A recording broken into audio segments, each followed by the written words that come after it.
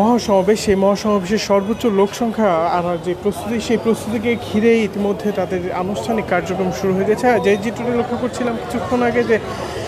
আজকে তাদের একটি যৌথ সভার আয়োজন করা হয়েছে। যে যৌথ সভাটিতে তারা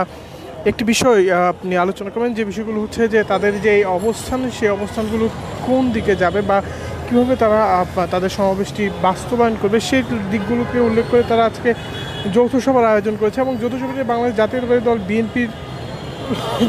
আজকে যে যৌথ সভা সেটি দুপুর বারোটা থেকে বারোটা পরবর্তী অর্থাৎ সোয়া বারোটার দিকে ইতিমধ্যে শুরু হয়ে গিয়েছে এবং যে চিত্রতে কিছুক্ষণ আগে লক্ষ্য করছিলাম যে আজকে যে আহ, যৌথ সভা সেখানে সভাপতিত্ব করছেন এবং কি এখানে উপস্থিত হয়েছেন মির্জা ফখরুল ইসলাম আলমগীর। এছাড়াও দলটির বিভিন্ন নেতৃবৃন্দ শামা উব্বায়ত সহ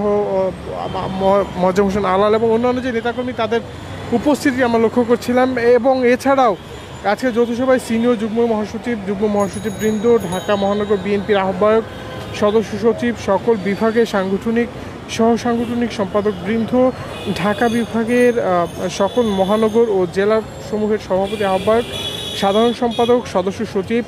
অঙ্গ সহযোগী সংগঠনের সভাপতি আহ্বায়ক, সাধারণ সম্পাদক, সদস্য সচিব, জাতীয়তাবাদী আইনজীবী ফোরামের সভাপতি ও সাধারণ সম্পাদক এবং বাংলাদেশ সম্মিলিত পেশাজীবী পরিষদের আহ্বায়ক ও সদস্য সচিব উপস্থিত থাকবেন। যে চিত্রটি আমার ভেতরের অংশ লক্ষ্য করছিলাম যে তাদের যে যৌথ সভাটি, সেটি শুরুর যে প্রস্তুতি, সেটি ইতিমধ্যেই শুরু হয়ে গেছে এবং তারা ভেতরের অংশ তাদের যে কার্যালয়টি রয়েছে, সেখানে তারা ইতিমধ্যে আলোচনা শুরু করেছেন এবং এই আলোচনার মাধ্যমে তাদের যে অবস্থানে, সেটি কি হবে সেই বিষয়টি আসলে জানান জানানো যাবে কিছুক্ষণ পরে ব্রিফিংয়ের মাধ্যমে যে তারা আঠাশ তারিখে তাদের যে জনসমাবেশ, সেই জনসমাবেশটি কীভাবে সম্পন্ন করবেন এবং স্থান এবং অন্যান্য যে চিত্রগুলো রয়েছে সেগুলো তারা নিশ্চিত করবেন, এমনটি আসলে জানা গিয়েছে। একটি বিষয় বলে রাখি যে তাদের যে যুগপথ আন্দোলন, সেই যুগপথ আন্দোলনের দিক হিসেবে তারা বেশ কিছু সভা সমাবেশ এবং রোড মার্চের মতো কর্মসূচি পালন করেছেন এবং সেই রোড মার্চ পরবর্তী সময়ে আজকে আগামী আঠাশ অক্টোবর তারা একটি মহাসমাবেশের আয়োজন করতে যাচ্ছে এবং সেই মহাসমাবেশে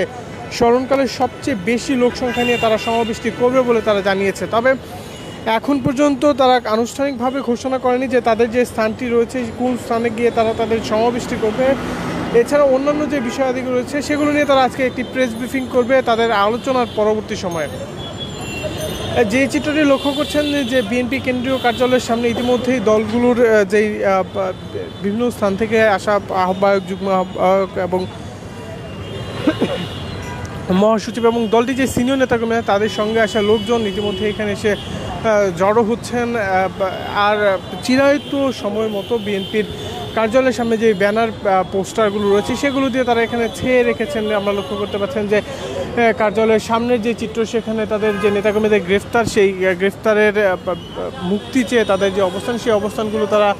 নয়াপল্টনের সম্পূর্ণ কার্যালয় আহ, জুড়ে আসলে তারা এখানে দেখাচ্ছেন। আজকের যে চিত্র, সেই চিত্রটিতে একটি বিষয় পরিলক্ষিত হয়েছে যে তাদের যে জনসমাবেশ পরবর্তী ঘোষণা, মহাসমাবেশে, সেই মহাসমাবেশে তাদের অবস্থানগুলো কেমন হবে সেই বিষয়টি এখন পর্যন্ত নিশ্চিতভাবে না বলা গেলেও তারা তাদের মহাসমাবেশ থেকে সর্বোচ্চ যে একটি করার বিষয়টি, সেটি তারা তাদের যে নানা ধরনের বক্তব্য এবং ঘোষণা, সেই ঘোষণার মাধ্যমে তারা জানিয়েছেন বলে আমরা লক্ষ্য করেছি। আজকের তাদের দল, দলটির বিভিন্ন স্থান থেকে আসা নেতাকর্মীদের নিয়ে তাদের একটি আলোচনা সভা চলছে, যৌথ সভা, যৌথ আলোচনা সভা চলছে এবং এই যৌথ আলোচনা সভা পরবর্তী সময়ে তাদের অবস্থানগুলো নিশ্চিত করবে আমরা দেখছি।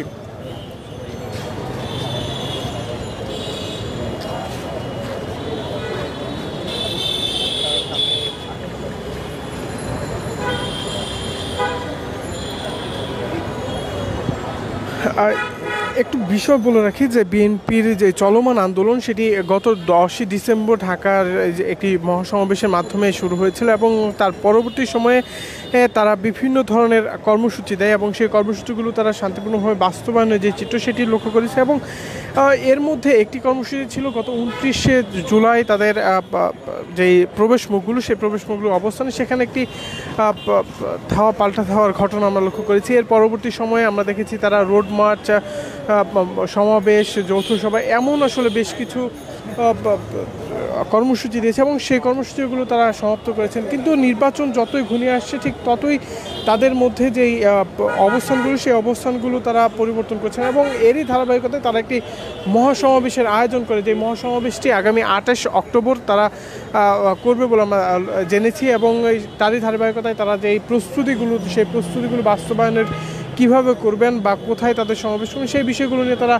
আলোচনার জন্য আজকে একটি যৌথ সভা আয়োজন করেছেন, যে যৌথ সভার মাধ্যমে পরবর্তী সময়ে তারা নিশ্চিত করে জানাবেন যে তাদের অবস্থানগুলো কী হবে। দর্শক, এই ছিল মূলত এখান থেকে আজকের সর্বশেষ চিত্র। পরবর্তী প্রেস ব্রিফিং সহ অন্যান্য যেই তথ্যগুলো রয়েছে, সেগুলো আপনাকে জানানোর চেষ্টা করব এবং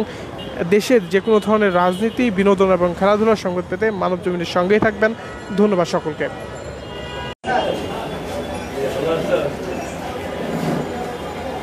মানুষজমি লাইভে আপনাদের সকলকে স্বাগত জানাচ্ছি। আমি হুমায়ুন কবির মাসুদ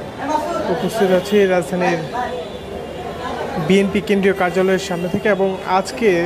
আগামী আঠাশ অক্টোবর বিএনপির যেই